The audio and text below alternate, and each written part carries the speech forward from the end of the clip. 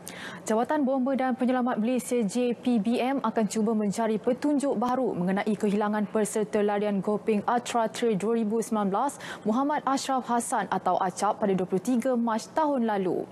Penolong pengarah bahagian operasi Jabatan Bomba dan Penyelamat Perak, Muhammad Yunus Abu berkata, perkara tersebut akan dijalankan selari dengan latihan pengoperasian pasukan khas operasi, taktikal dan penyelamat Malaysia Storm 2020 peringkat zon utara khas di Gua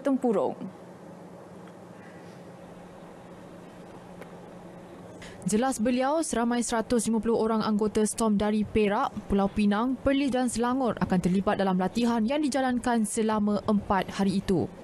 Untuk program Jalan Lasak, kita nyatakan sebagai acap trail ini dapat membantu uh, sedikit mengurangkan keresahan dari pihak keluarga acap sendiri uh, apakah tindakan Jabatan Bomba dengan uh, dengan perkembangan acap.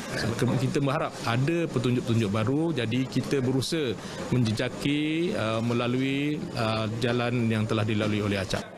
Beliau berkata demikian ketika ditemui media di Gua Tempurung Kopeng.